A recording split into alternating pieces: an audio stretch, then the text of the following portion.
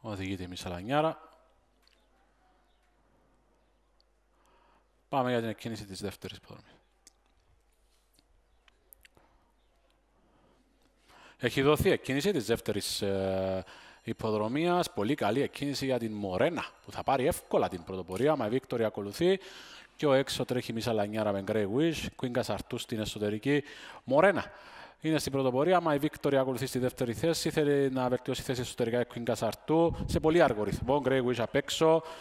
Και ο πίσω είναι η Τζούπιλ, η Μίσα Λανιάρα, Παγιωσότησα, Μορένα στην πρωτοπορία. Πάντα στο ένα μήκο είναι η My Victory, εξωτερικά Grey Wish, εσωτερικά Queen Κασαρτού.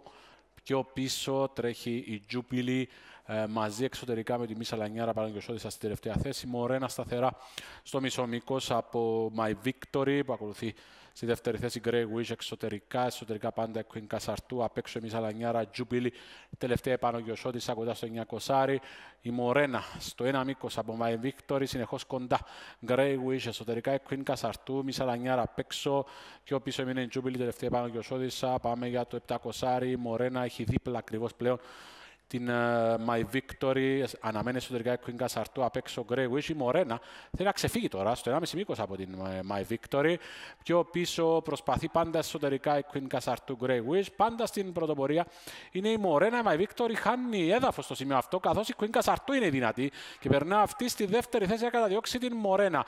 Ε, προσπαθεί να επανέλθει τώρα η My Victory. Πιο πίσω η Μισελανιέρα απ' έξω Grey Wish. Μορένα και Queen Casartu που φαίνεται να είναι δυνατή. Πιο πίσω προσπαθεί να επανέλθει ξανά η My Victory. Queen Casartu έχει ένα προβάδισμα από την Μορένα. My Victory μένει στην τρίτη θέση. Queen Casartu στην πρωτοπορία.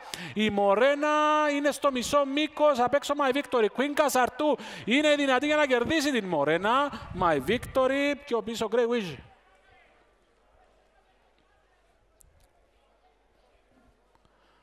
Queen Casartu λοιπόν θα φτάσει την ε, νίκη.